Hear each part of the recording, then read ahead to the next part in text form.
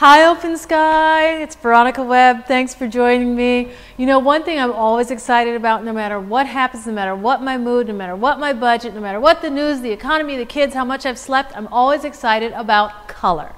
And I have for spring great, great, great colors such as purple. This belt from ADA, I think in this bright plum, Looks fantastic in spring. It's nice and warm through summer. And then I've got these ballet flats in purple. Pointy toe. They're from, they're from me limited edition and they're soft. Look how soft they are, right? So the minute you put them on, it feels like you've had them on for years and years and years. There's nothing like an old shoe, um, but in the best way. And the quickest way to update your wardrobe not only color, is texture. Ding!